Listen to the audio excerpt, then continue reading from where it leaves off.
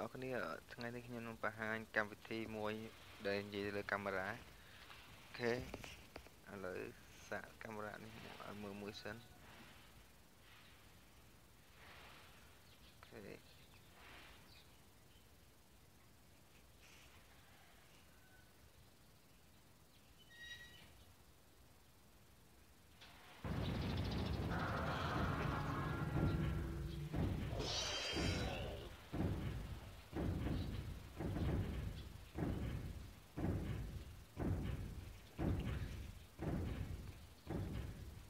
ថាមាន dinosaur រត់ទៀតអានេះយើងអាចស្រែអសបាន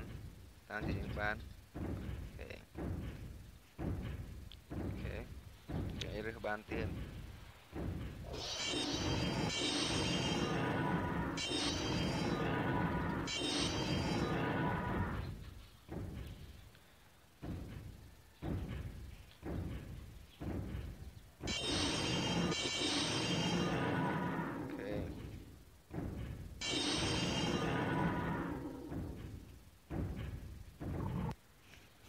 ខេអ្នកទាំងអស់គ្នាអាចធ្វើការ download នៅកម្មវិធីនឹងបាន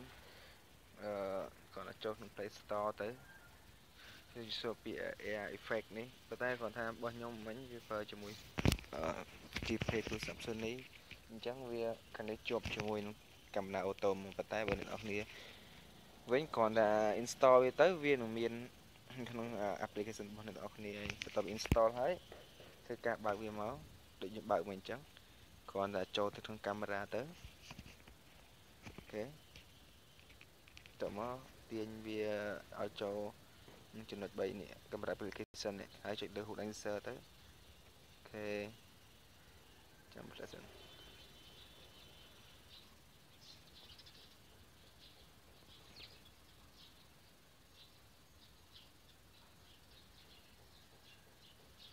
ញ៉ា